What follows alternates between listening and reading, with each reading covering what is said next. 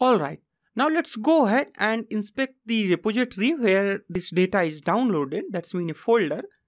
So this data is available here COVID-19 pre-process dataset. And there I'm gonna show you in inside a pre-process. So inside a pre-process, we have these four files.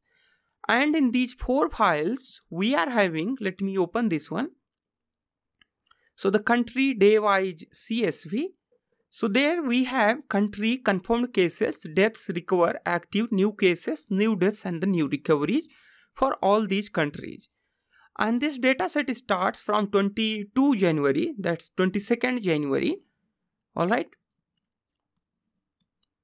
And then there is latest data available for today, it's 9th of, it's 9th of May, alright, perfect. Now let's go ahead, close this one and uh, sorry, I think uh, I don't need to save it. Anyway, so we have here another one that's the clean version. So this clean version is a clean version of time series data which is available at John Hopkins University. Alright, so there we have this data and one thing you notice here that uh, there is a time uh, two different time formats are here but not to worry all these formats are handled automatically in other files and these will not create any problem. And uh, then it has total day by day cases for all these dates. So today we have here 9th of may. All right and uh, the two extra columns is available in this file which is longitude latitude and longitude which is coordinate so that we can also find out the coordinates of that country or the province or state. And then we have here day-wise cases. So this day-wise cases is um, total the cases to that particular day for all the countries together. So it says that on the 22nd January, there were six countries affected from COVID and those countries affected countries kept constantly increasing. And currently it is now around 187 countries where covid-19 cases are registered. All right perfect.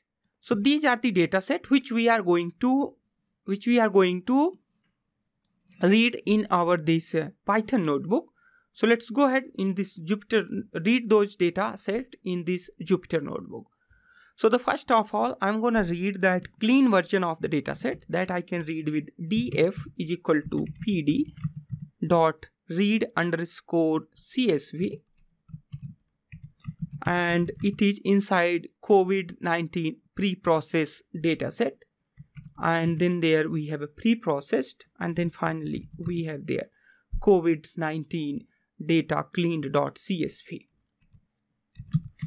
and I'm gonna use here parse date so that I can parse the first column as a date.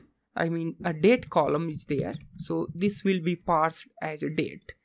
Alright and if you run it and you see that df here you will see. So this is the first column. First column is parsed as a date. And there is other columns as well the one thing you should also notice here is that there is NaN values in province and states. So these are the none values. So we need to also handle those none values and those none values we can handle simply by changing here df province and state is equal to df province state dot fill na and inside that I'm gonna fill here empty strings. Alright, so now you see this is clean version of the data. Alright, so as we imported this clean version of the data, now we need to also import other data. You see there is other data as well like country day wise, country wise and the day wise. So we'll be importing these data in the next lesson. So thanks for watching this lesson. I'll see you in next one.